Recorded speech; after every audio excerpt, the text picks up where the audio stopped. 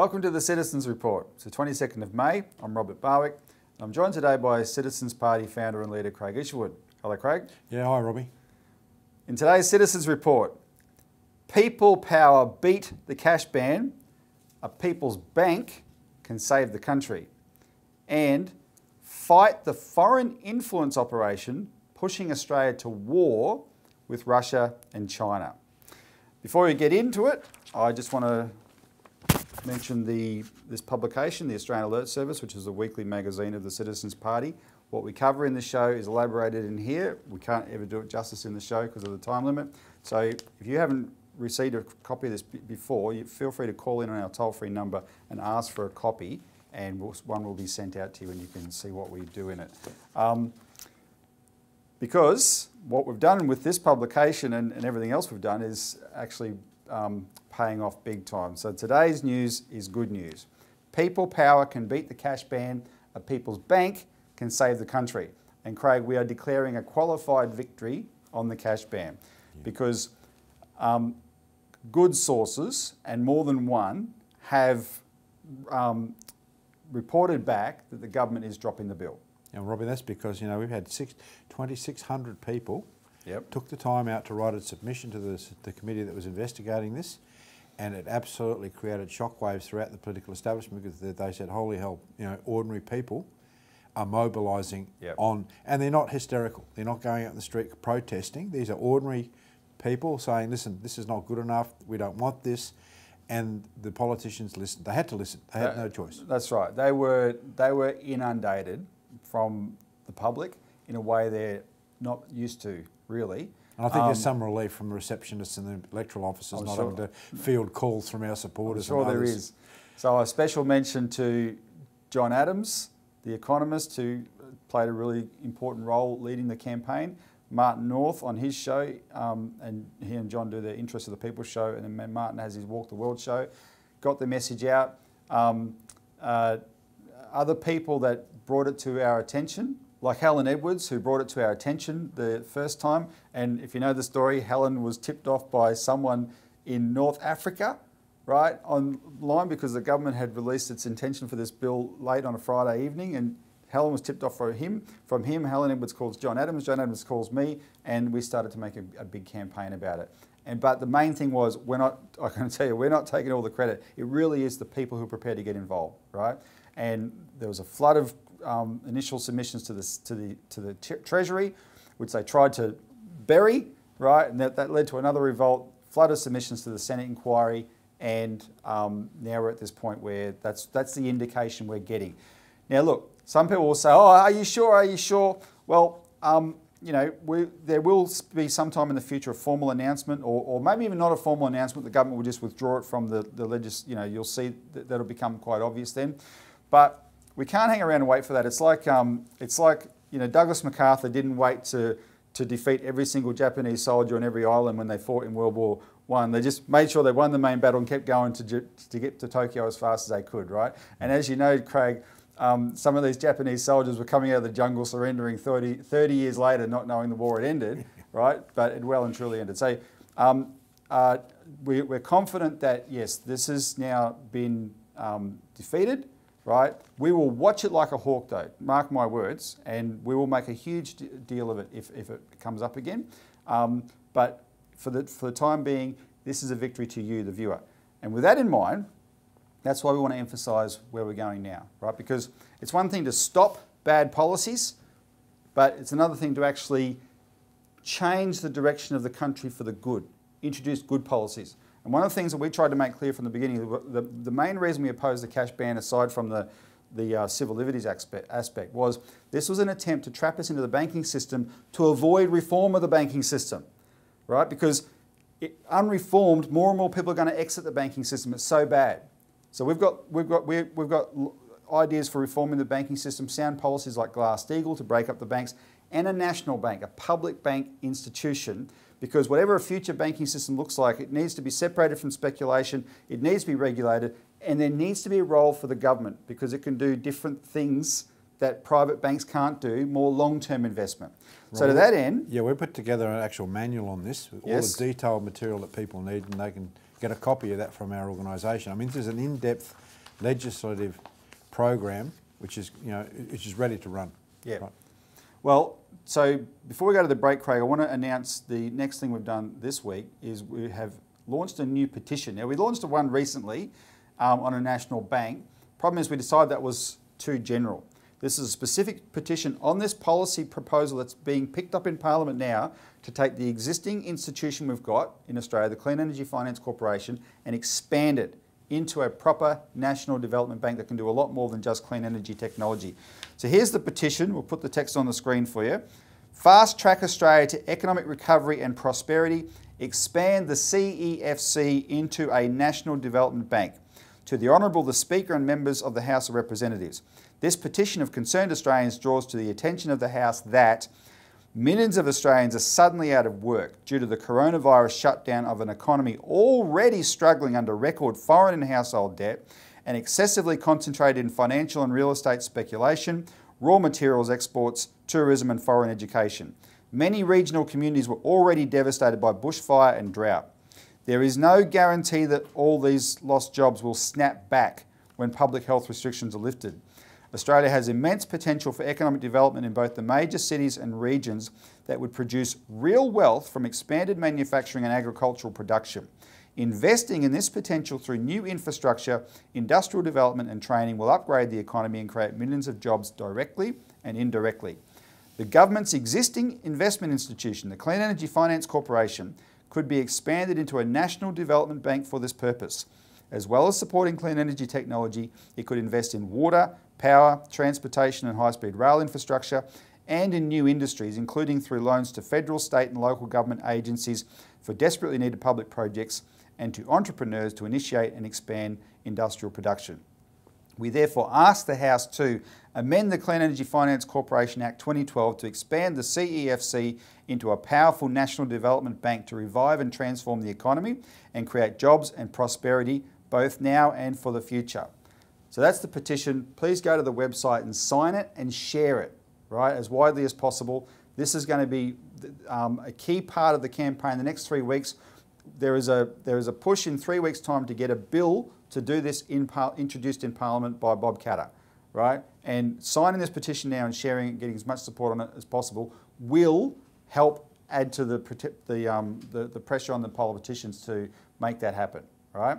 So let's take a break because when we, when we come back, Craig and I are going to talk about the historical role our, our former government bank, the Commonwealth Bank, did in rescuing and helping local councils develop, which is really, really important right now.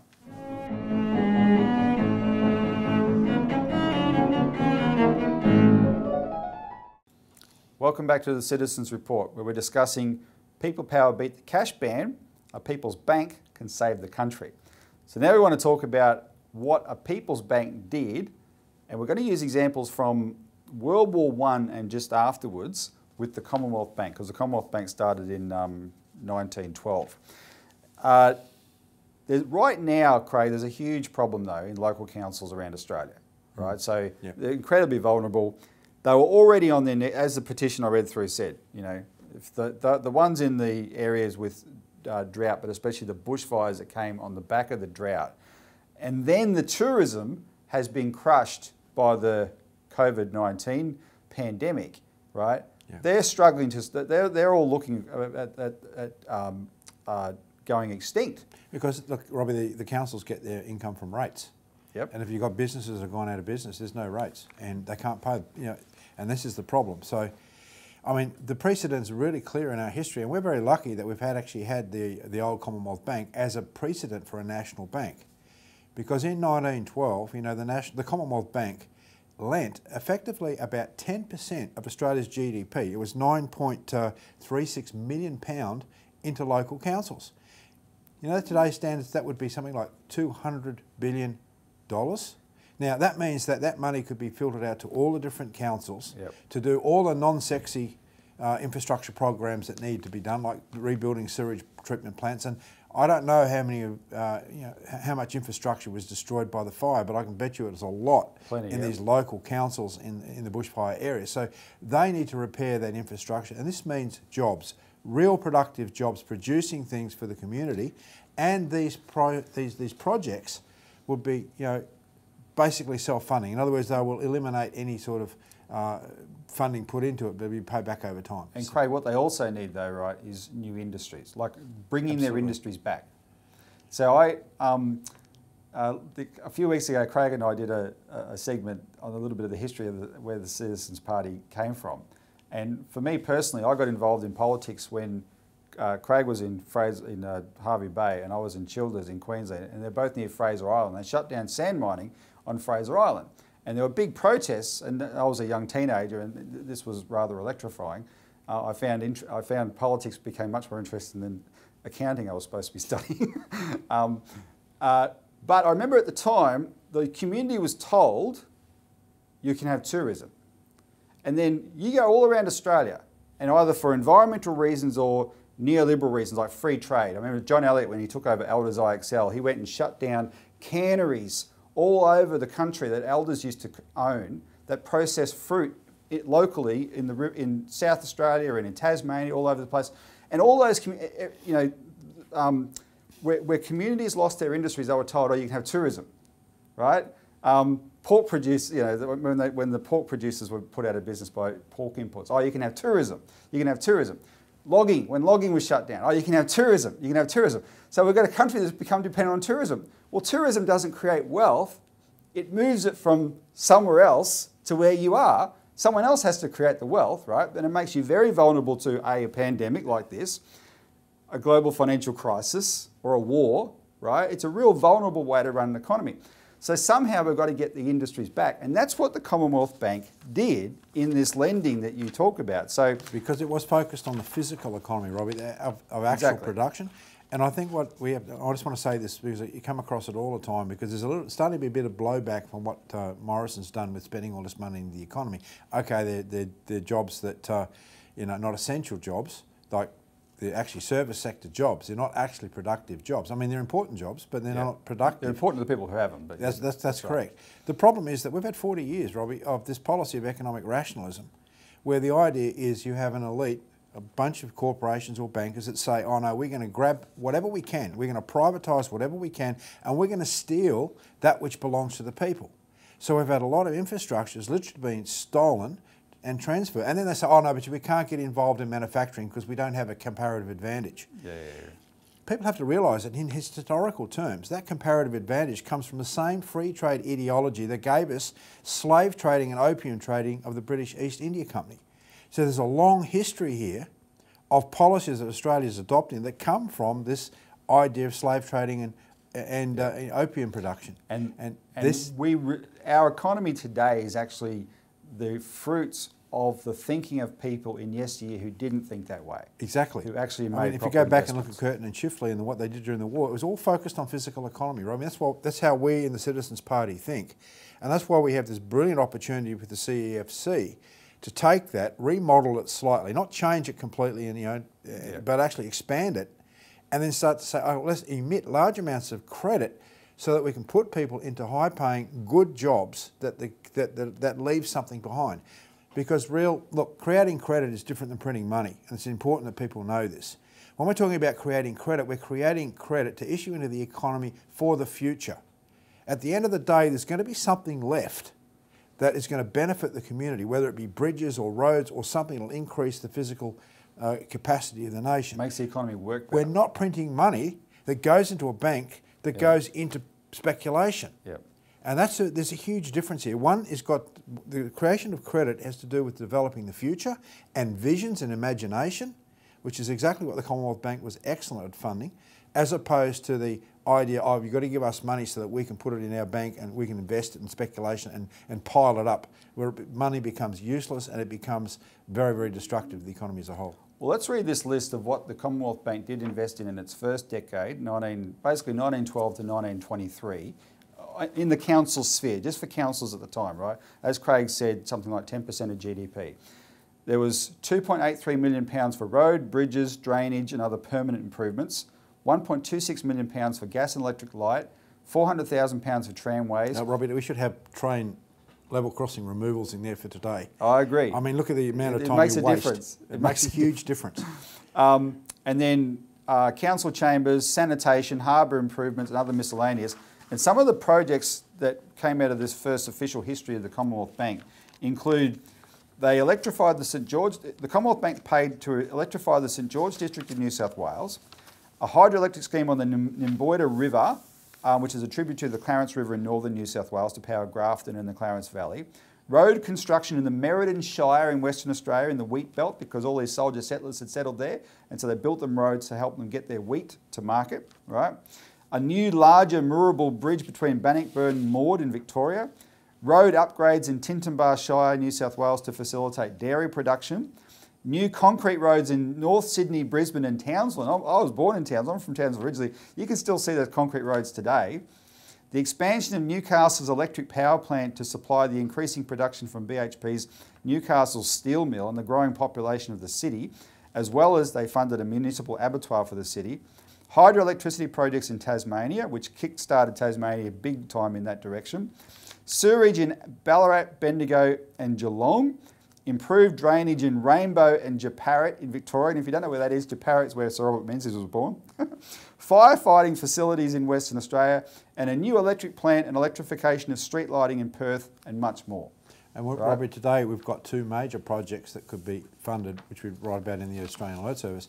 You've got the whole Bradfield scheme. You Yeah. know, build the Hell's Gate Dam, as Bob uh, uh, Bob uh, Katter's been talking about. Now, they're ready to go. Yep. Get into them, right? And these will produce huge amounts of uh, jobs, but also transform the environment in a good way to provide more water for the interior of Australia. And secondly, you've got the high-speed train proposal that Al- Anthony Albanese's been pretty keen on. Um, which we have as a colour feature, Craig, in this week's issue Yeah. of the Alert Service, reminding people what the very, very fast, original very fast train proposal was, and it's full colour, great pictures there. It's really impressive what it was. It was only political will that stopped it. And now we, you know, if we want an economy, we need to start I was, doing those sort I of was things. talking about the future, Robbie. Now, just people go back and think about Sydney without the Sydney Harbour Bridge or the tunnel. Yep. How constricted would Sydney be? It would be uh, nightmares. But that piece of infrastructure transformed the entirety of Sydney. What if we had a high-speed train system all the way from, you know, from Melbourne all the way up through to Brisbane as has been proposed? And the plans are already being done in Yep. detail, actually. That will transform the eastern corridor of Australia and provide enormous opportunities for new industries, Yep. new jobs and so forth. Including decentralised regional development, which Exactly. is crucial. Yep. Craig, we're to take a break.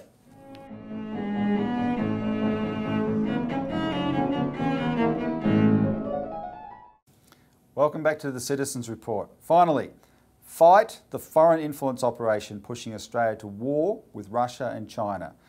And this is getting very, very serious, this issue. So, what I want to highlight is there's a gang of juvenile politicians in Parliament, and they are juveniles. They call themselves the Wolverines. They're a little pack. They leave stickers of claw marks around Parliament House on doors and walls, right? Because they're cool. Um, it's bipartisan. It's got Labor and Liberal members. The Labor one is Kimberley Kitching, Liberal one are people like Andrew Hastie and um, James Paterson. This pack of Wolverines, named after paranoid 1984 um, movie called Red Dawn, where a gang of teenagers fight the Russian takeover of America. Um, they claim that they formed to protect Australian sovereignty. But have a look at this image here. This was in the, the Australian newspaper. Last week, these clowns inducted the United States ambassador as an honorary member of their pack. What on earth does the United States ambassador have to do with protecting Australian sovereignty? The issue here is these people define Australia's national interest as America's national interest. And that's the problem. And I've quoted it a thousand times on the show. Craig remembers we used to talk to Malcolm Fraser in his final years, and he said Australia is not an independent country. We've always been subservient to the United Kingdom and now the United States. And we don't have our own independence, and that's our problem. And he came up with this saying Australia needs the United States for security, but we only need security because we're allied to the United States. That's what, that's what Malcolm Fraser said.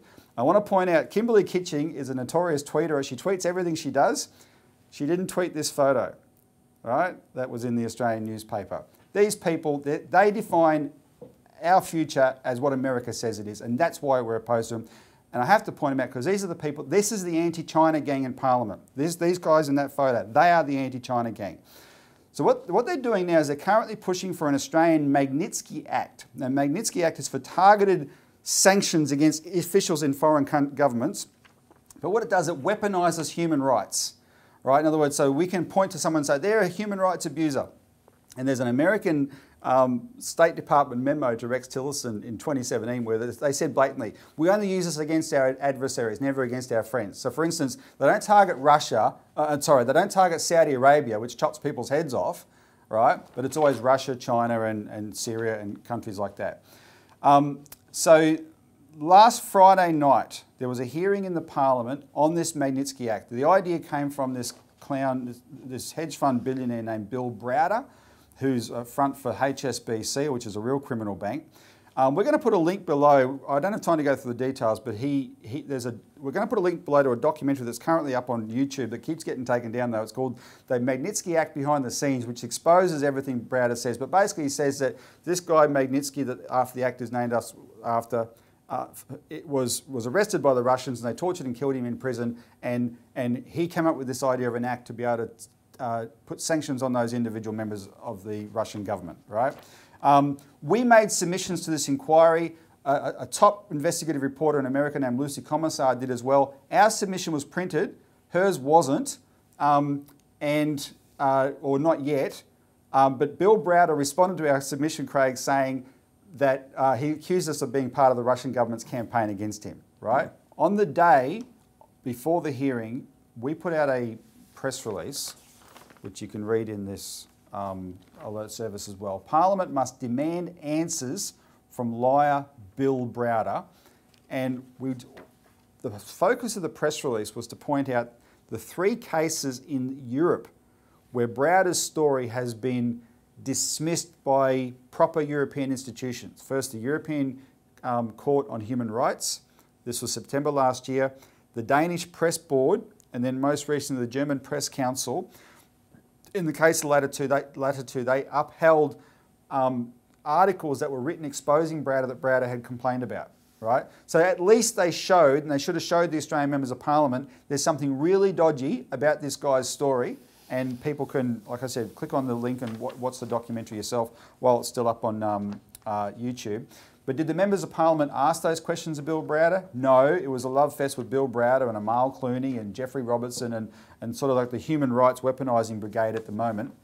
And don't think we're not for human rights. What we're telling you, what they say about human rights is fake. This is fake human rights weaponising. That's why we're going after it.